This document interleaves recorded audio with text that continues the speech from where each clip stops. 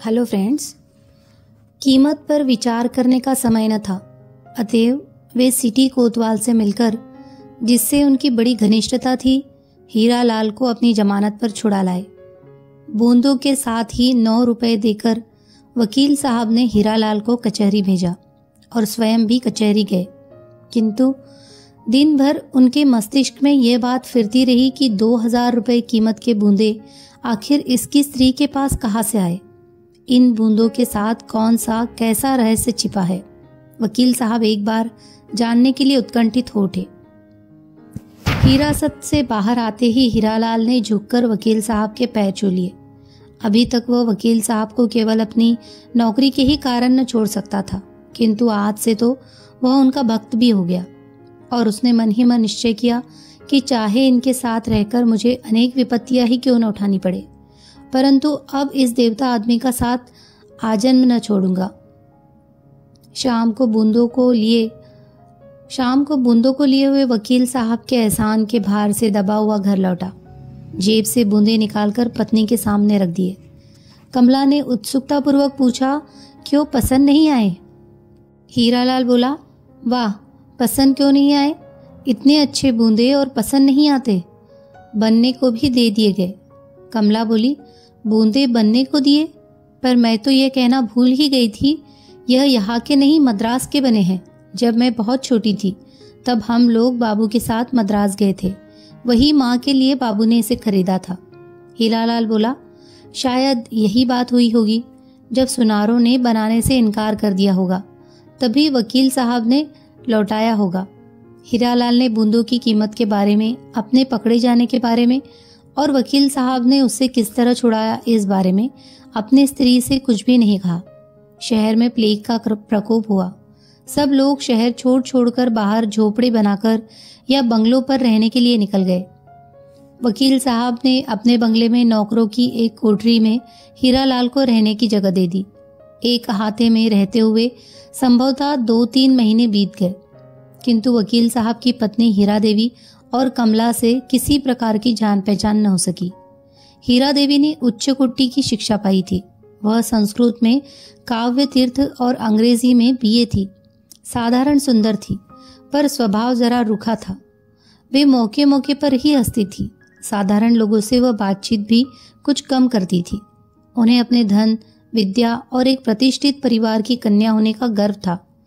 अपने आश्रित एक मुंशी की स्त्री से बातचीत करने में वह समय का दुरुपयोग ही समझती थी। इसीलिए उन्होंने कमला को कभी न बुलवाया। इधर कमला इसके बिल्कुल प्रतिकूल थी। वह अनिद्य सुंदरी थी। खूब गोरा रंग, आकर्षक आँखें पतले पतले लाल ओठ, जिन पर सदा हँसी खेलती रहती। वह बड़ी नम्र और मिलनसार थी। पढ़ी लिखी बहुत साधारण थी। हिंदी की पुस्तकों के अतिरिक्त चिट्ठी पत्री लिख पढ़ लेती थी। अंग्रेज़ी के कोई कोई अक्षर पहचान लेती थी। फिर भी उसे व्यवहार ज्ञान और गृह कार्य में कुशल थी। साधारण से साधारण कपड़ों को भी ढंग से पहनना जानती थी। साधारण कपड़ों को ही वह इस ढंग से पहनती थी कि वह उसके शरीर पर मूल्यवान जान पड़ते। बीस साल की उम्र होने पर भी चौदह साल की किशोरी जान पड़ती। उनके स्वभाव में एक प्रकार की लापरवाही और अल्लड़पन था। जो इस बात का साक्षी था कि इसने भी अपने जीवन में कभी अच्छे दिन देखे हैं। जिस दिन से कमला को मालूम हुआ कि हीरा देवी ने उसके इयरिंग मंगवाए और पसंद किए हैं, उनसे मिलने के लिए कमला की उत्सुकता और भी बढ़ गई। एक दिन दोपहर को वह हीरा देवी से मिलने गई, जिसकी सूचना हीरालाल ने अपने मालकिन को पहले से ही दे रखी थी। बरामदे में एक चटाई पड़ी थी। कमला उसी पर बैठ गई। साधारण आवभगत के बाद हीरा देवी पास पड़ी हुई कुर्सी पर बैठकर एक मासिक पत्रिका के पन्ने उलटने लगी। बीच बीच में वह कमला की बातों का उत्तर भी देती जाती थी। उन्होंने अपने किसी भी व्यवहार से यह प्रकट न होने दिया कि कमला के आने से उन्हें किसी तरह की प्रसन्नता हुई। प्रत्युत उन्होंने यही प्रकट किया कि उसके आने से उनके काम में कुछ विघ्न ही पड़ा। उनके मुँह के भाव से कुछ ऐसा प्रकट हो रहा था, जैसे उन्हें कमला के रूप और लावण्य से ईर्ष्या हो रही हो। कमला एक साधारण, जामदानी की कड़ी हुई गुलाबी रंग की साड़ी और वैसा ही ब्लाउज पहने थी। हाथों में तीन तीन कांच की चूड़िया और कानों में वही हीरे के इयरिंग चमक रहे थे। वह इस आशा में थी कि हीरा देवी यदि कुछ भी उसके बूंदे के विषय में पूछेगी तो वह बातों ही बातों में उन्हें बतला देगी कि यद्यपि इस समय दिनों के फेर से वह उनके मुंशी की स्त्री है, किंतु वह भी किसी समय बड़े घर की लड़की थी और उसने भी अच्छे दिन देखे हैं। उसके पास एक नहीं, अनेक जेवर थे, इन बूंदों की तरह। किंतु हीरा देवी ने उसके साथ बातचीत करने में जो उदासीनता दिखलाई, उससे कमला के आत्मसम्मान को धक्का लगा। वह यहाँ आके पछता रही थी।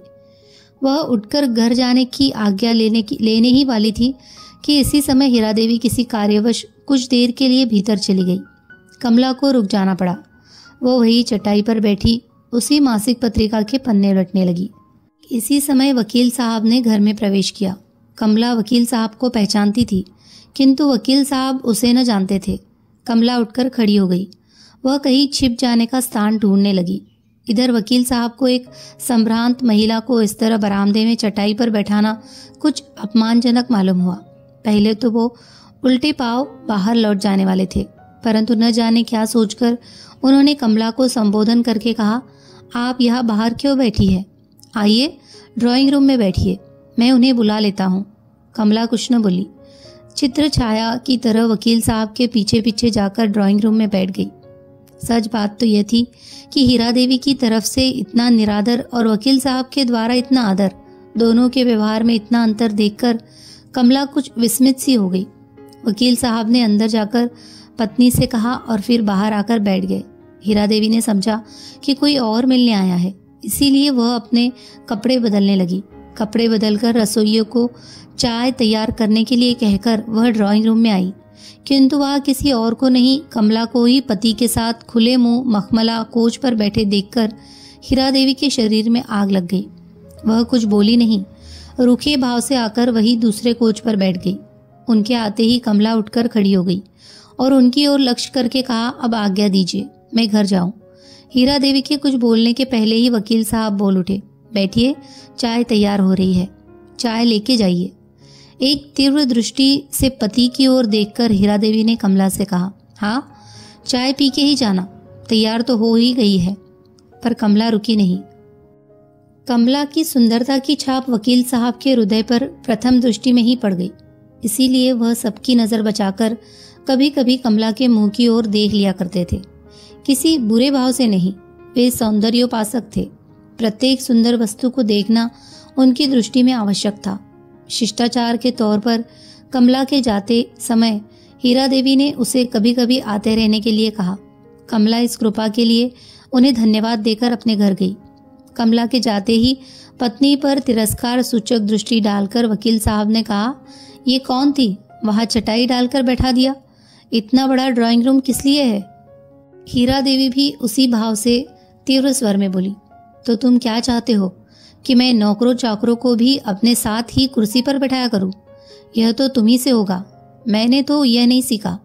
फिर भी अब वाद विवाद करने का क्या तात्पर्य है? जब तुमने उसे बुलाकर अपने पास कुर्सी पर बैठा ही लिया था वकील साहब ने उत्सुकता से पूछा, नौकर चाकर नौकर चाकर से तुम्हारा क्या तात्पर्य है?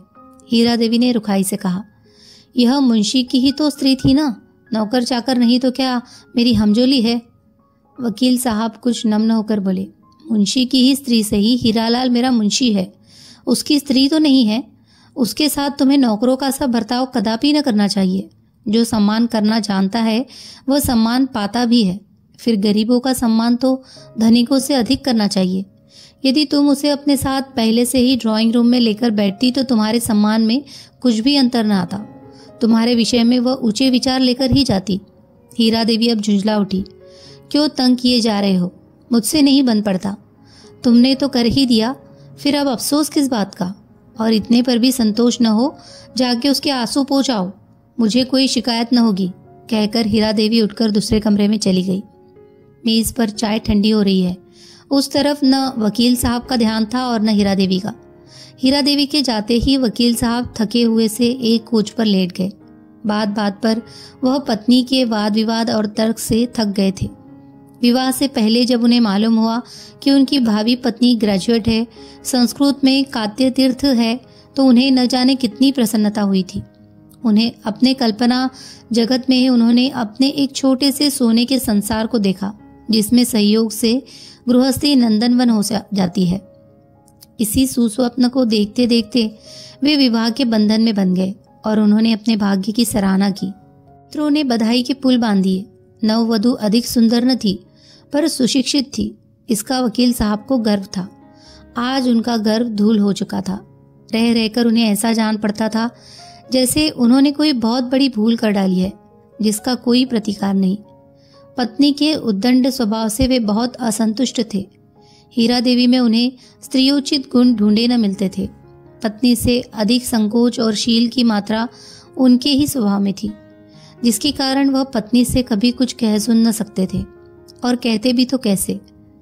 हीरा देवी आखिर उनसे किस बात में कम थी? वे वकील थे। हीरा देवी भी कुछ दिनों तक पटना के गर्ल्स स्कूल में प्रिंसिपल रह चुकी थी। वकील साहब बीए एलएलबी थे। तो हीरा देवी बीए, बीटी थी। विद्या, डिग्री या रुपया कमाने की कला। वकील साहब से हीरा देवी किसी बात में तिल भर कम न थी। फिर उनसे वह किस बात में दबती? और दबती भी कैसे? उन्होंने स्त्रियों के समानाधिकार पर बड़े बड़े लेख लिखे थे। और तर्क के द्वारा यह सिद्ध कर दिया कि स्त्री और पुरुष का प्रत्येक बात में समान अधिकार है। किंतु साहब से कोई पूछता, इस समान अधिकार का परिणाम उनके हक में कैसा सिद्ध हुआ? वे तो जानते ही न थे कि गृहस्थ सुख कैसा होता है। वे तरस रहे थे। हीरा देवी उनके लिए एक मित्र की तरह थी। बाकी घर का सारा काम तो नौकर करते थे। हीरा देवी भी ग्रेजुएट थी। वे इन छोटी छोटी बातों में अपने अमूल्य समय को नष्ट न कर सकती थी और न कभी वकील साहब की हिम्मत पड़ती कि उनसे किसी काम के लिए कहते। सौ की जगह दो सौ खर्च हो जाता। पर एक दिन भी उन्हें अच्छा भोजन न मिलता। वैसे तो सामने थाली में कई चीज़ें होती। पर सब बेस्वाद, नीरस, जैसे तैसे पेट भरते थे। हीरा देवी पहली ही बार गर्भवती हुई थी। प्रसव के लिए उन्होंने अपनी माता के पास जाना उचित समझा। वकील साहब ने इसे ज़्यादा ठीक समझा, क्योंकि यहाँ उन, इनके घर दूसरी कोई स्त्री थी ही नहीं। अतएव गर्भ के छठे मास में ही हीरा देवी अपनी माँ के घर चली गई। एक दिन कचहरी से लौटकर वकील साहब चाय के लिए बैठे ही थे कि हीरालाल एक थाली में कुछ मिठाइयाँ जो एक सुंदर बेल बूटेदार रुमाल से ढकी थी, लेकर आया। बोला, घर में बनाया था तो मैंने कहा, थोड़ा सा आपके लिए भी ले चलूँ। बहू जी तो है नहीं, अब आपके लिए कौन बनाता होगा? वकील साहब ने मन ही मन सोचा, ये थी ही। तो कब बना के खिला देती थी। प्रकट में बोले, क्यों तकलीफ़ की हीरालाल? महाराज तो महाराज तो बना ही दिया करता है। जो कुछ मैं चाहता हूँ। हीरालाल ने धीरे से थाली को मेज पर रखकर रुमाल हटा लिया, फिर बोला वकील साहब, ये सब, ये पकौड़ियाँ खाइए। अभी बन रही है। कुल गर्म है और चाय के साथ आपको अच्छी भी लगेगी। वकील साहब पकौड़ियों के शौकीन थे। तश्तरी की सब पकौड़ी साफ़ कर गए, हीरालाल शर्माया। शायद वह बहुत कम लाया था। खाने के बाद बोले, दरअसल हीरालाल, बहुत अच्छी पकौड़ियाँ बनी है। बाकी मिठाइयाँ भी बहुत अच्छी है। क्या तुम्हारे घर की बनी है? हीरालाल प्रसन्न होके बोला हाँ सरकार, हम लोग तो बाज़ार की मिठाई खाते ही नहीं। वह तो सब अपने हाथ से बना लेती है। सस्ती की सस्ती पड़ती है और बाज़ार से अच्छी भी रहती है। वकील साहब बोले, मालूम होता है कि भोजन बनाने में बड़ी चतुर है, पर वह तो मिर्जापुर तरफ़ की है। देहात की लड़कियों को तो मैंने भोजन की कला में निपुण कहीं नहीं देखा। हीरालाल बोला, दिनों का ही फेर समझिए वकील साहब, यह मुंशी नवल किशोर राय की लड़की है। एक ही रात डाकुओं ने ऐसा ज़बरदस्त डाका डाला कि इनका सब कुछ लूट ले गए। इन्हें अपनी माँ के साथ जाफ़र मामा के घर मिर्जापुर में रहना पड़ा। देहात में रही तो क्या हुआ? इनकी माँ बहुत चतुर थी। उन्होंने ही इन्हें सब कुछ सिखाया। उन कान के बूंदों के अतिरिक्त मोतियों का एक चंद्रहार भी उसके पास है। वकील साहब, मैं क्या बताऊँ? उसके हाथ में जैसे जादू है। मामूली दाल भात भी बनाती है, पर इतना स्वादिष्ट कि क्या बताओ वकील साहब आश्चर्य से बोले अच्छा यह मुंशी नवल किशोर राय की कन्या है। वह तो इलाहाबाद के बड़े भारी वकीलों में से थे। तभी यह इतनी चतुर है। हीरालाल ने प्रसन्नता का भाव ज़ाहिर करते हुए कहा, वकील साहब, गुस्ताखी माफ़ हो। एक अर्ज़ करता हूँ। आप कल सवेरे मेरे झोपड़े में ही भोजन कीजिए। हम गरीबों के भोजन का स्वाद भी लीजिए। वकील साहब को अपने मुंशी के यहाँ भोजन करना जरा उचित न मालूम हुआ। बोले, क्यों तकल्लुफ करते हो हीरालाल? यह जो इतनी चीज़ें लाए हो, यही मेरे कल तक के लिए काफ़ी है। फिर क्यों तकलीफ़ करते हो? हीरालाल बोला, इसमें तकलीफ़ की क्या बात है वकील साहब? उसका स्वभाव तो ऐसा ही है कि अगर दस खाने वाले आ जाए तो उसे दुनी खुशी होती है। सुस्ती तो उसमें नाम की नहीं है। और खाने वालों को खिला पिला के चाहे उसके खाने के लिए एक और भी न बचे, उसे बड़ा संतोष होता है। वकील साहब बोले अच्छा भोजन तो तुम्हारे घर का मैं स्वीकार कर लेता हूँ, पर मैं वहाँ खाने न आ जाऊँगा। तुम खाना यही ला देना। हीरालाल खुशी खुशी अपने घर गया। वकील साहब कपड़े पहन के क्लब गए। क्लब में से उस दिन वकील साहब जल्दी ही लौट आए। उनका जी वहाँ भी न लगा।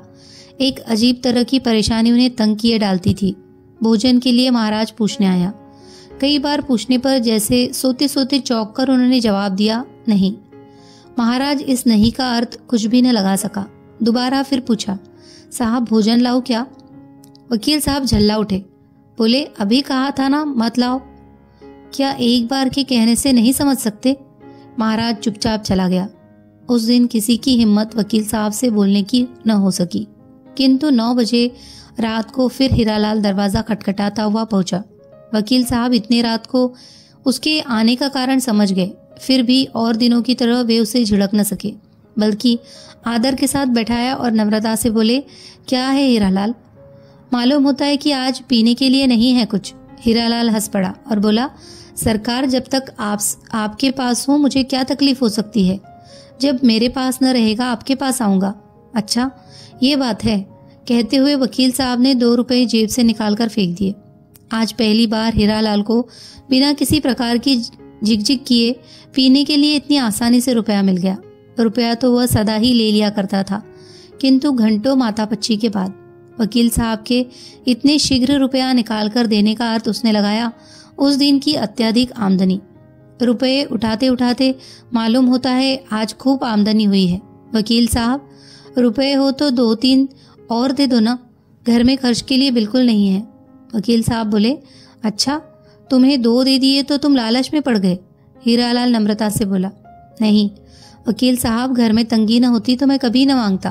आप तो मुझे जानते हैं। बस मुझे पीने भर को मिल जाए, फिर मुझे कुछ न चाहिए। आज तो उसने कहा कि रुपया चाहिए, इसीलिए आपसे कहा।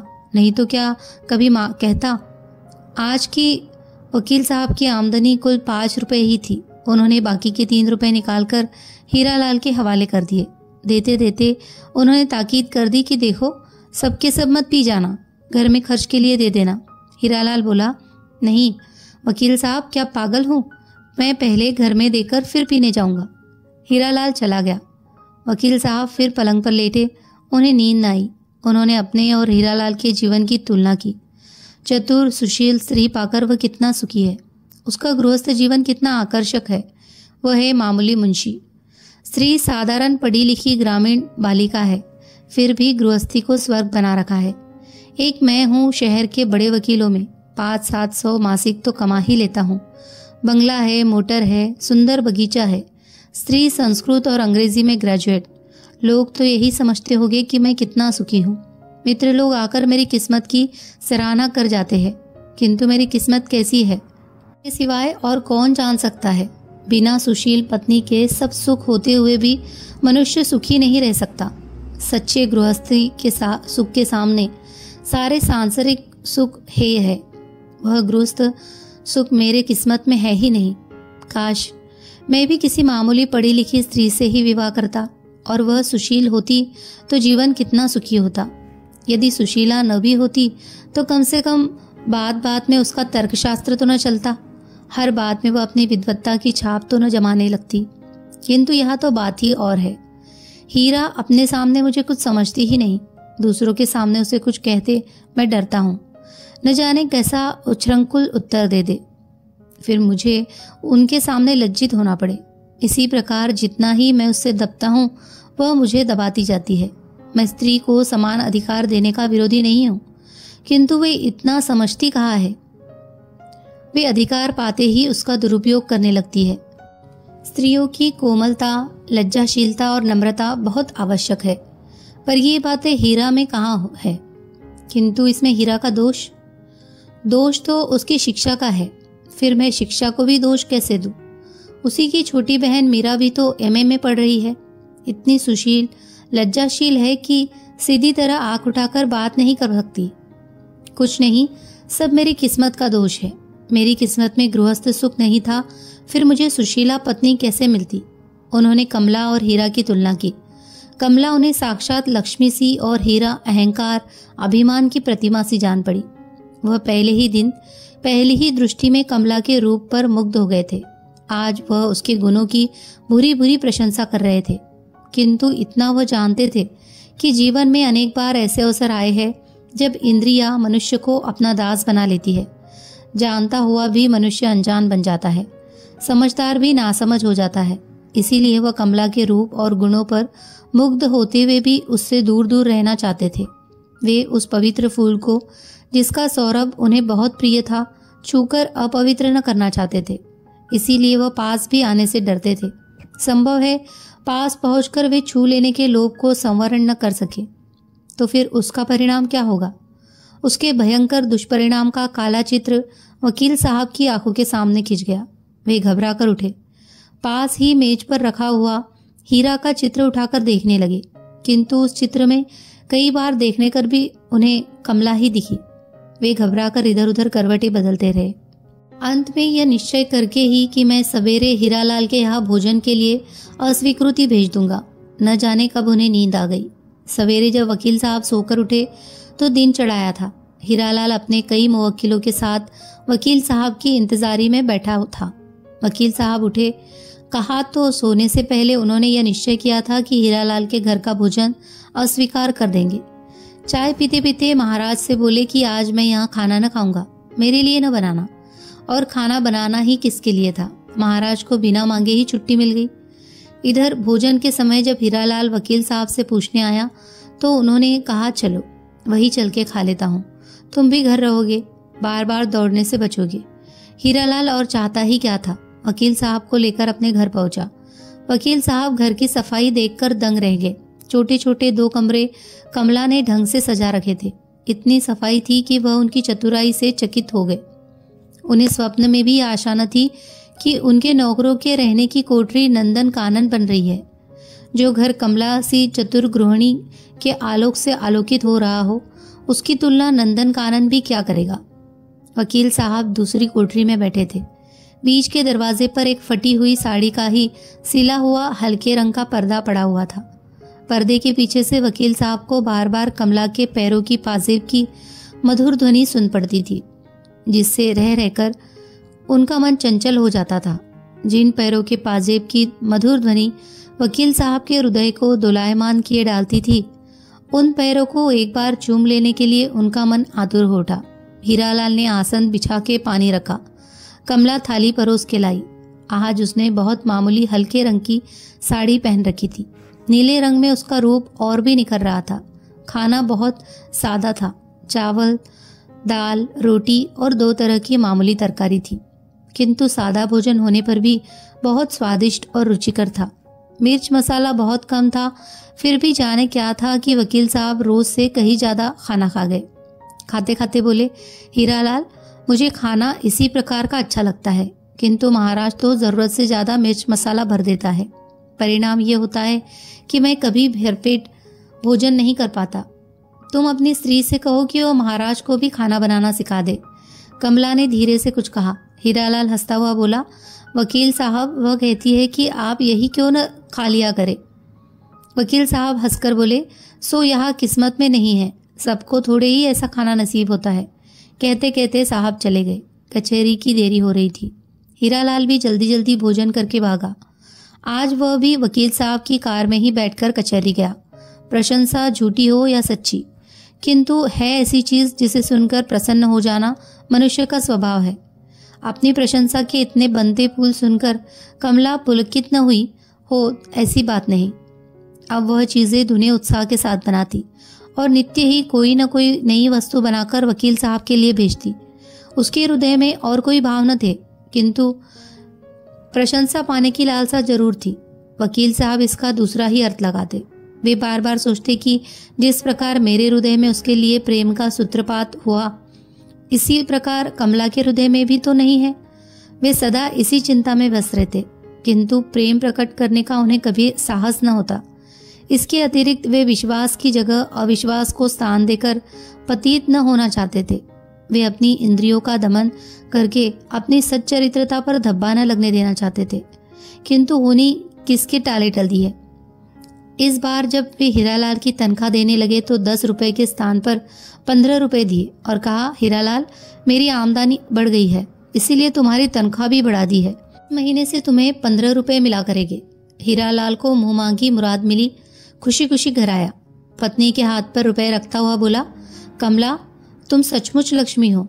जिस दिन से तुम आई हो, मुझे लाभ ही लाभ हुआ है। वकील साहब मुझसे कभी सीधे बात तक न किया करते थे। अब दोस्तों का सा बर्ताव रखते हैं। कहा तो सदा निकाल देने की धमकी दिया करते थे। कहा इस महीने से पंद्रह रुपए तनख्वाह कर दी। अब तुम कहो, तुम लक्ष्मी हो या नहीं?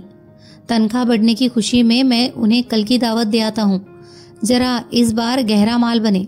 पाँच रुपए ऊपर वाले खर्च कर दो। परमात्मा बहुत देगा।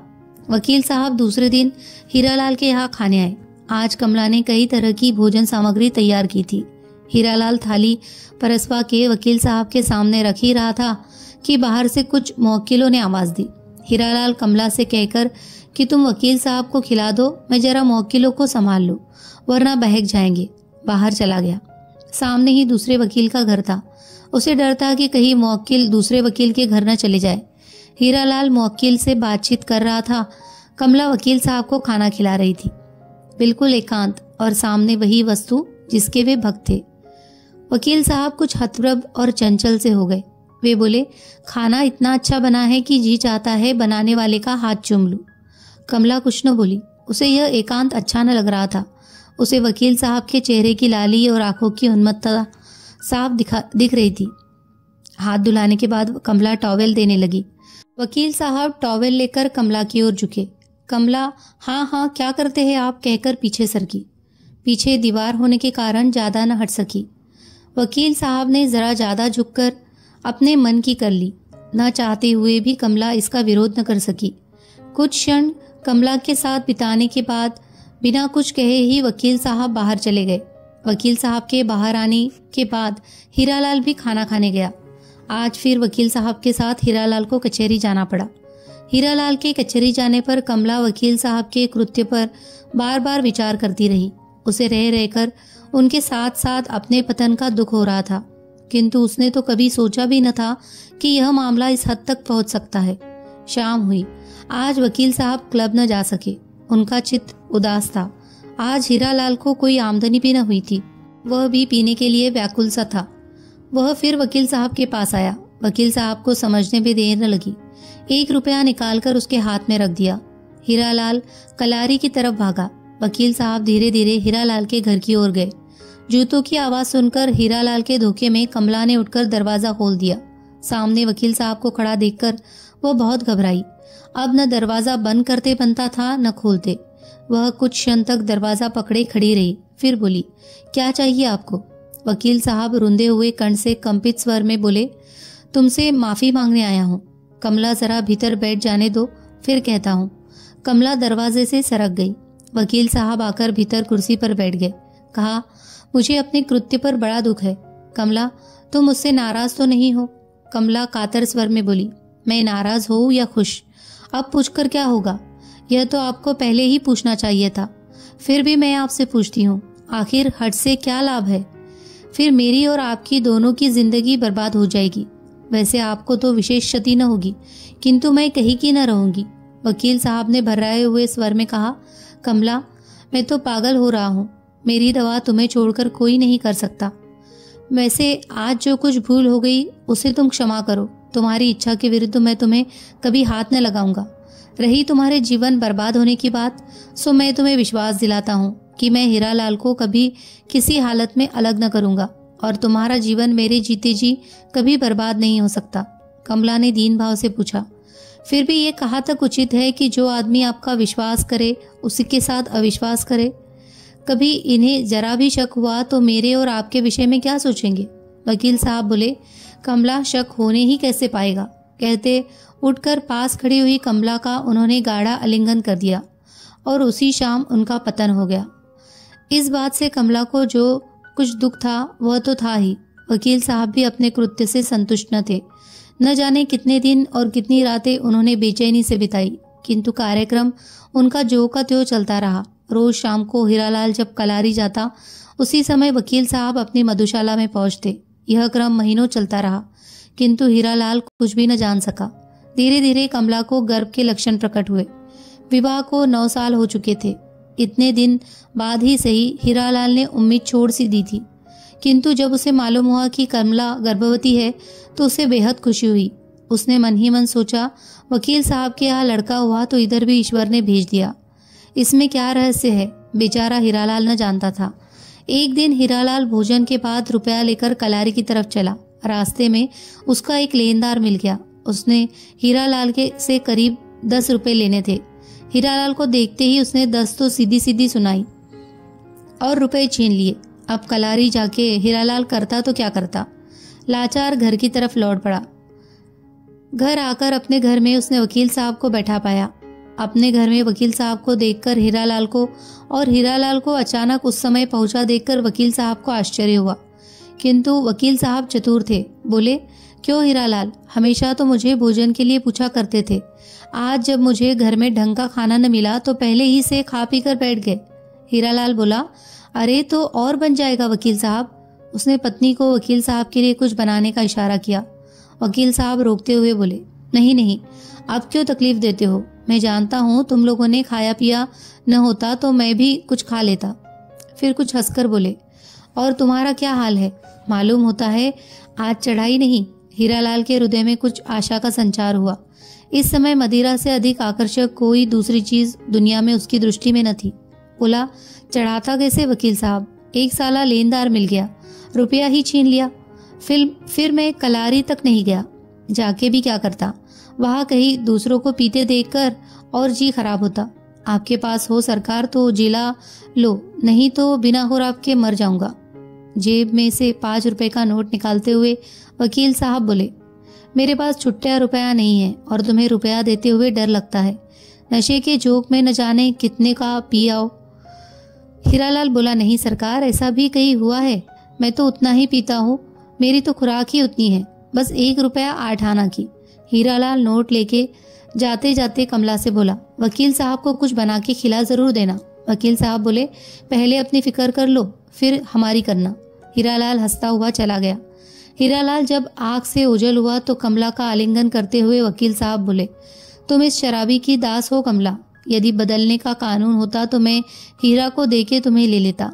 हीरा हीरालाल के साथ भले खुश न रहती। पर तुम्हारे सरीखा सुखी तो दुनिया में कहीं ढूँढने से भी न मिलता। न कमला। कमला ने उत्तर कुछ न दिया। विदाई की अंतिम छाप कमला के होठों पर लगाकर वकील साहब अपने घर आए। कमला के गर्भ का पांचवा महीना चल रहा था। हीरालाल खूब पी के लौटा। लौटकर साढ़े तीन रुपए कमला के सामने फेंक दिए। फिर वह खाट पर बेहोश गिर पड़ा। आज उसने दुनी चढ़ा ली थी। धीरे धीरे हीरालाल को अपनी स्त्री और वकील साहब के चरित्र के विषय में कुछ कुछ संदेह होने लगा। किंतु कुछ भी कहने की हिम्मत न पड़ती। जब तक वह अपनी आँख से कुछ न देख ले, कैसे कहे? लेकिन इस विचार मात्र से ही उसका हृदय बड़ा विचलित हुआ। वह अब ज़्यादा पीने लगा, किंतु इस पर भी उसे शांति न मिलती। वह बड़ा व्यथित और घबराया सा रहता। एक दिन वह कमला से बोला, कमला, जाने क्यों मुझे तुम्हारा वकील साहब के साथ इतना मिलना जुलना पसंद नहीं आता? कमला ने कहा, मैं तो उनके घर मिलने जाती नहीं। तुम उन्हें मना कर दो। मैं उनसे कभी न मिलूँगी। हीरालाल निरुत्तर हो गया। वकील साहब को रोकने का उसमें साहस न था। उसने सोचा, मकान ही बदल दू तो अच्छा रहेगा। वह मकान की तलाश में चला। रुपए लेकर कलारी की तरफ़ जाने के इरादे से निकला, किंतु कुछ ही दूर जाने पर उसे कुछ मौक्किल मिल गए। वह उन्हें लेकर लौट पड़ा। बंगले पर आने पर मालूम हुआ कि वकील साहब क्लब गए हैं। मौक्किलों से बातचीत करके पाँच रुपए फ़ीस की पेशगी लेकर हीरालाल उन्हें सवेरे आने की ताकीद कर अपने घर की तरफ़ चला। वह रबर सोल जूते पहनता था, इसीलिए जूतों की आवाज़ न हुई। वह रबर सोल जूते पहना था, इसीलिए जूतों की आवाज़ न हुई। बाहर बरामदे में पहुंचकर उसने देखा कि सामने का दरवाज़ा बंद है। अंदर से वकील साहब और कमला के हंसने की आवाज़ आ रही थी। वह चुपचाप कुछ क्षण तक खड़ा रहा। उसने सुना, कमला कह रही थी, लड़का हो या लड़की, है तो तुम्हारा ही। उसकी पूरी ज़िम्मेदारी तुम्ही पर रहेगी। मैं यह न देख सकूँगी कि तुम्हारा बच्चा मोटर पर बैठकर स्कूल जाए और दूसरा पैर घसीटता हुआ जाए। वकील साहब बोले, पगली हुई हो, तुम्हें भी यहाँ न रहने दूँगा। मैं तुमको लेके भाग जाऊँगा। वकालत, मकान, बगीचा, सब हीरा और हीरालाल के लिए छोड़ जाऊँगा। मेरे पास बस तुम रहो। मैं दुनिया की सारी संपत्ति को ठुकरा दूँगा। मोटर मैं अपने बच्चे के लिए साथ रखूँगा। कहीं भी रहूँगा, कमा खाऊँगा। हो न तैयार इस बात के लिए? कमला हंस पड़ी। हीरालाल अधिक न सुन सका। संताप से वह पागल सा हो रहा था। उसने ज़ोर से एक ठोकर दरवाजे पर लगा दी। दरवाज़ा अंदर से बंद था। वो भाग क्षण भर भी न ठहर सका। तेज़ी के साथ अहाते से बाहर निकल गया। अंधकार में किधर अदृश्य हो गया कोई न जान सका। इस घटना को हुए कई मास बीत गए। अब कमला और वकील साहब के संबंध की चर्चा घर घर में थी। संदेह तो लोग पहले से ही करते थे, किंतु हीरालाल के इस प्रकार अचानक लापता हो जाने से संदेह करने में कोई संदेह का कारण न रह गया था। एक सखी ने कुछ गोलमाल करके हीरा देवी को भी लिखा। यह भी लिखा कि वह फ़ौरन चली आए। इसके एक दिन एक ही दिन पहले हीरा देवी को पति का पत्र मिला था, जिसमें लिखा था कि यहाँ कई तरह की मौसमी बीमारियाँ फैली है। ऐसे समय में तुम बच्चे को लेकर यहाँ मत आना। मैं स्वयं तुम्हें लेने आऊँगा। अब हीरा देवी पति के असली मतलब को समझी। उनके सिर से पैर तक आग लग गई। उसी दिन रात की ट्रेन से वह रवाना हो गई। उनके पहुँचने से पंद्रह दिन पहले में ही एक कमरे में कमला को कन्या हुई थी। हीरा देवी के इस प्रकार अचानक पहुँचने की वकील साहब को संभावना न थी। वो किंग कर्तव्य मुड़ से हो गए। उनकी समझ में ही न आया कि क्या करे, कि पहुँचने के कुछ ही घंटे बाद हीरा देवी ने देखते ही देखते कमला को बच्ची समेत बंगले से बाहर निकाल दिया। बंगले से निकलने के, निकलते समय कमला वकील साहब के दफ्तर की तरफ़ मुड़कर बोली मुझे उन कोठरी में से एक में रहने दो। मैं इतना नन्ना सा बच्चा लेकर कहाँ जाऊँ? फिर मुझसे चला भी तो नहीं जाता। वो अपनी बात पूरी भी न कर पाई थी कि अचानक हीरा देवी आ गई। डांट के बोली, सीधी निकल जाओ। मेरी इच्छा के विरुद्ध तुम इस अहाते में पैर भी नहीं रख सकती। वकील साहब बुद्ध की नाई बैठे रहे। उनसे कुछ भी करते न बना। उन्हीं की आग के सामने जिसे उन्होंने इतना आश्वासन दे रखा था, वही कमला गिरती पड़ती किसी प्रकार बंगले से बाहर चली गई। किसी को उस पर दया न आई, किसी ने उसे शरण न दी। अपने पाप के फल को हृदय से लगाए संताप के आँसू बहाती हुई कमला निरुद्देश भाव से चली जा रही थी। आप सुन रहे थे सुभद्रा कुमारी चौहान की कहानी कान के बूंदे। कहानी अगर आपको अच्छी लगी हो तो प्लीज़ इसे लाइक कीजिए, शेयर कीजिए और कमेंट कीजिए। और हमारे चैनल पर प्रसिद्ध लेखकों की हिंदी कहानियाँ सुनने के लिए चैनल को सब्सक्राइब कीजिए। धन्यवाद।